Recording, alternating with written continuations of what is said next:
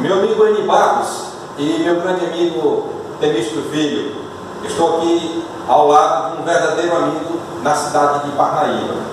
Quero apresentar a vocês, nobres eh, comunicadores da cidade de Floriano, que aqui eu estou sendo amparado por esse grande amigo, amigo leal, verdadeiro, amigo como nós.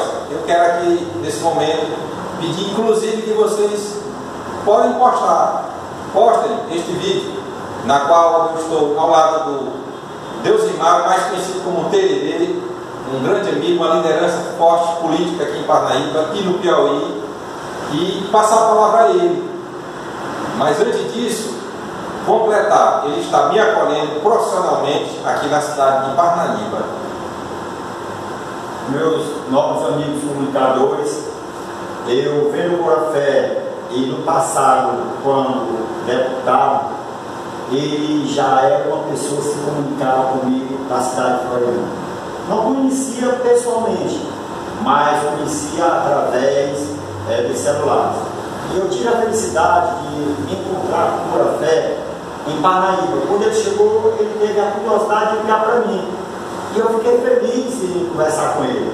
Como estava muito aperreado nos dias, final de ano, eu deixei para que passasse o ano para depois entrar em contato com o Corfé.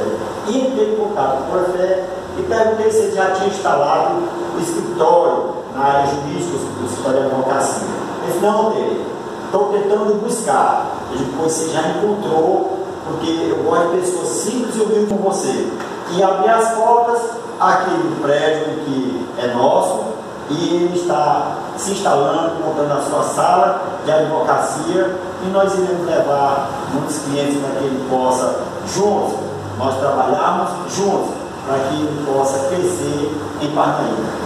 É assim que se faz, abre as portas para a gente do bem, simples, humilde, trabalhador, como meu grande amigo Moura Ferreira. É nós.